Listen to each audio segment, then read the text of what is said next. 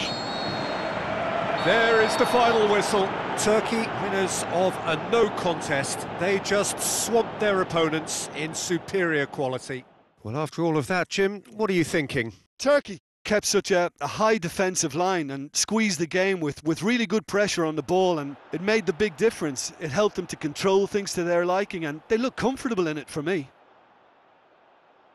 And all that remains for me is to thank Jim Beglin. That's it from us tonight. A very good evening to one and all.